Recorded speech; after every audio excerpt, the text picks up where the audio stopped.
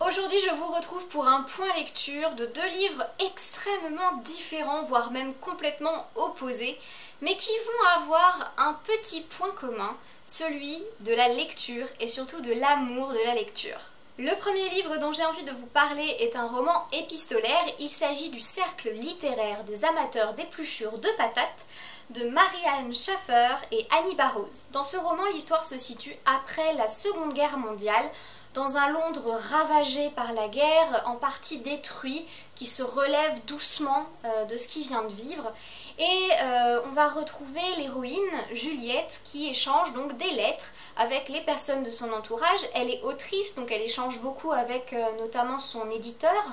Et elle va recevoir une lettre d'un habitant de l'île de Guernesey qui a vécu l'occupation et qui lui écrit parce qu'en fait il a un livre à elle en sa possession où il y avait son adresse et il a aimé le livre, donc il a envie de lui en parler et il lui écrit tout simplement pour lui parler de ça. Va s'en suivre donc euh, une correspondance entre Juliette et cet homme, mais aussi avec tous les habitants de l'île de Guernesey, euh, une véritable communauté euh, hyper attachante qui a donc vécu l'occupation et elle va découvrir l'existence de ce cercle littéraire des amateurs d'épluchures de patates qui a été créé donc pendant l'occupation et qui leur a permis de s'évader un petit peu et euh, tout ça grâce à la lecture. Dans cette lecture, j'ai trouvé des personnages très attachants, ils sont tous vraiment adorables, sauf certains, mais vraiment pour la plupart, ils, ont, ils sont touchants, ils ont leur histoire, ils sont, ils sont vraiment humains et, bien faits. Euh, j'ai aussi beaucoup aimé parce que c'est vraiment pour moi une sorte de petite comédie romantique, mais malgré tout ce n'est pas trop dégoulinant ce n'est pas dégoulinant de romantisme. Il y a des histoires d'amour, mais ce n'est pas ce qui va être le plus mis en avant finalement.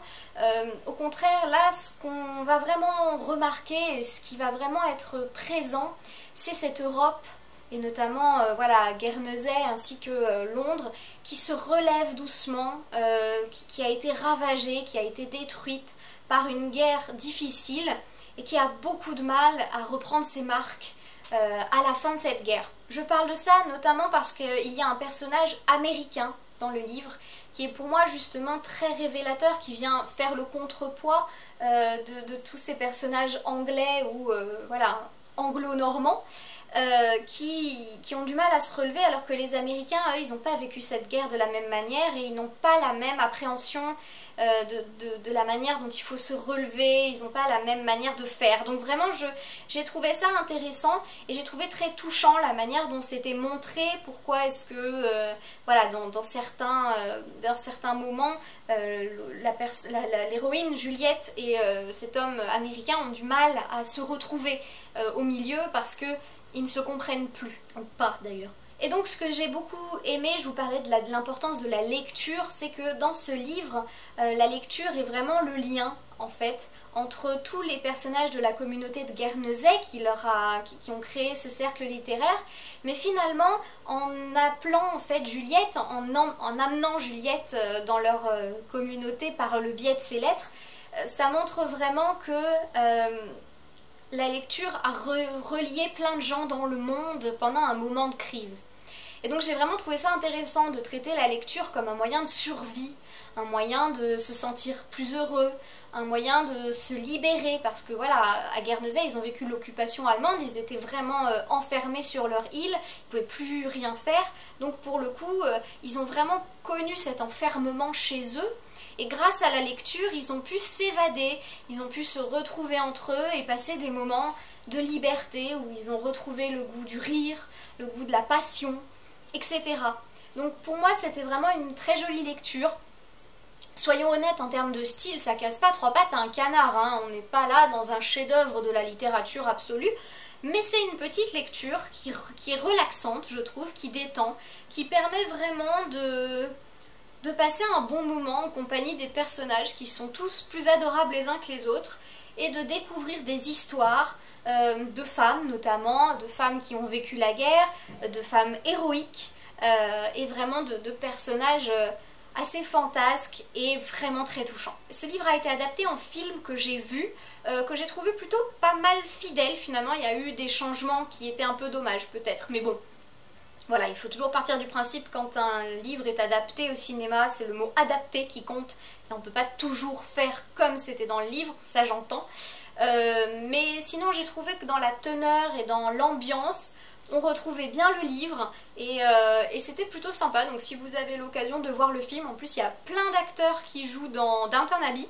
Donc si vous appréciez Downton, je pense que vous pourriez aimer. Euh, le, film s'appelle, je crois, juste le cercle littéraire de Guernesey. Donc euh, voilà. Donc si vous avez l'occasion de voir le film, n'hésitez pas, j'ai trouvé assez fidèle au livre. Le second livre que j'ai envie de vous présenter est un livre où j'ai failli vraiment faire une vidéo spéciale coup de cœur. Je l'ai lu juste après Les Illusions de Savloar, donc on peut dire que j'ai enchaîné les très bonnes lectures. Il s'agit de Morwena de Joe Walton, un livre qui pour moi est un ovni. Euh, je n'ai pas... Il est classé comme science-fiction mais non, et en même temps oui. Donc pour moi c'est un livre qui est... Euh, très intéressant en termes de genre parce que pour le coup il peut aller dans plein de choses. Un roman, là pour le coup, c'est un journal, donc euh, j'aime beaucoup la dynamique du journal intime aussi parce que, euh, un peu comme le roman épistolaire qui va avoir une dynamique particulière, le journal intime aussi va apporter une proximité avec l'héroïne que j'ai trouvé très agréable. Et donc dans cette histoire, on retrouve Morwena dans les années 80, une adolescente de 15-16 ans, qui va se retrouver dans un pensionnat euh, où les sœurs de son père l'envoient après un très grave accident de voiture qui a tué sa sœur jumelle et euh, qui l'a rendue, elle, handicapée. Donc outre le fait que bon euh, l'histoire était très intéressante, j'ai aussi beaucoup aimé le fait que l'héroïne soit handicapée. C'est assez rare en fait qu'on ait une héroïne avec un problème physique. Et ça, ça m'a plu. Après, c'est pas un handicap très lourd, hein, elle peut marcher, etc. Mais quand même, euh, le fait qu'il y ait quelque chose qui cloche, entre guillemets, avec elle, qui peut être source de complexe, surtout à cet âge-là, m'a semblé très intéressant. Comme je disais, donc on parle de Morwena, et Morwena est une jeune fille qui parle aux fées, euh, et qui est aussi passionnée de science-fiction. Et là, je fais le parallèle avec la lecture d'avant, donc le cercle littéraire. Là aussi, dans ce roman, la, la lecture va venir lui sauver la vie parce que c'est grâce à ses lectures de science-fiction, grâce à sa passion pour la lecture, euh, qu'elle va réussir à dépasser parce qu'elle a un deuil à faire et qu'elle va réussir à faire ce deuil petit à petit.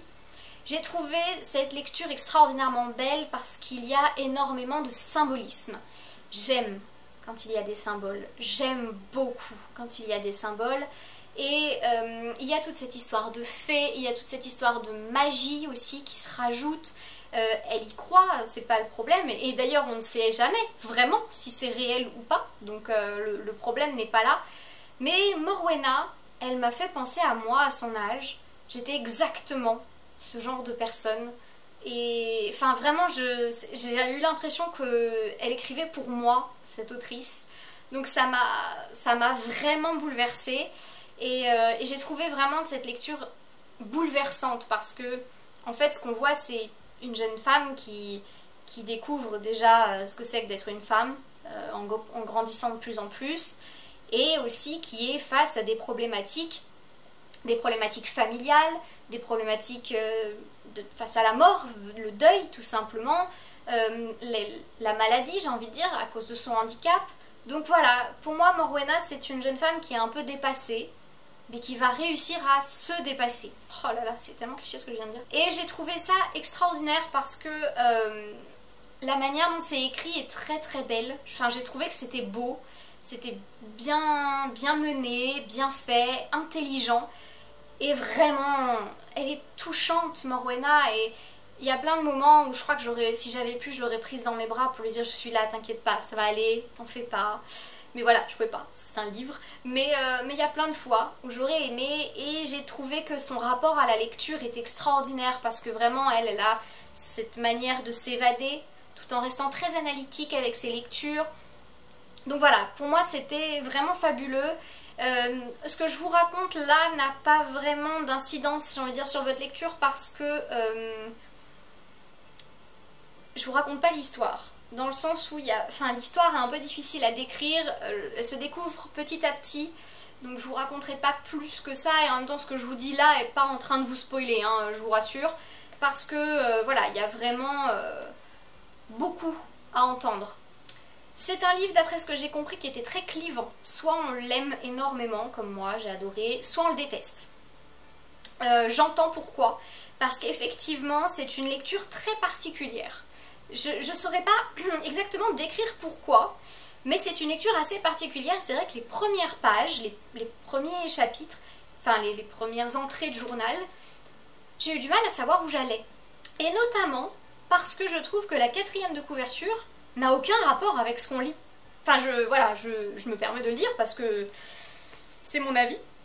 Mais je trouve que la quatrième de couverture ne rend pas justice à ce qui se passe dans le livre et je pense qu'elle gagnerait à être un poil plus évasive peut-être. J'ai eu l'impression que la direction que donnait l'histoire ici et vraiment celle du livre n'était pas du tout pareille donc voilà.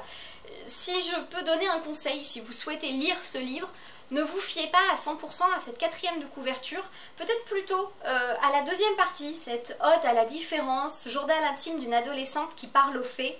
Morwena est aussi une plongée inquiétante dans le folklore gallois. Ce roman touchant et bouleversant a été récompensé par les plus grands prix littéraires, du genre, le prix Hugo, le prix Nebula et le British Fantasy Award.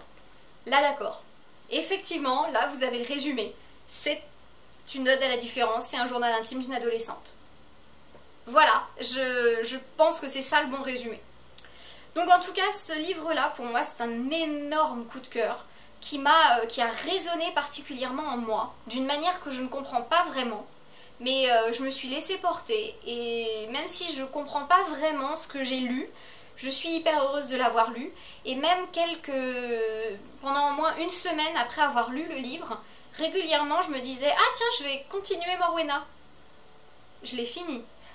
Ça faisait une semaine que je l'avais fini, deux jours, trois jours, j'ai continué à me dire j'ai envie de la retrouver. Donc je pense que c'est un signe que j'ai adoré ce livre et donc je vous le recommande plus que tout. Voilà, ce point lecture touche déjà à sa fin, j'espère que ça vous aura plu. Si vous avez lu un de ces deux livres, n'hésitez surtout pas à venir en parler et donner votre avis en commentaire. En attendant une prochaine vidéo, je vous souhaite une bonne semaine et surtout de très bonnes lectures et je vous dis à très bientôt